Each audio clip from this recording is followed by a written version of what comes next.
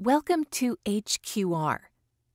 In this video, we'll show you how to submit web-based measure data using the Web-Based Measures data form. From the dashboard, go to the navigation menu on the left side of your screen. Select Data Submissions. Select the Web-Based Measures tab. Now select the Data Form card. Find the program of your choice, then select Launch Data Form. Pick a reporting period for the program, then select the Start Measure button. You'll now be able to fill out the data form with your measure data. When you're ready, select Submit. If there are any warnings about the data you submitted, you'll be shown a list. You can edit the data entered into the form or confirm that you'd like to submit the data as is.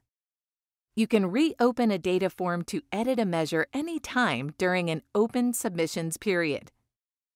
And that's it. Look for more quick tutorials at hqr.cms.gov/support.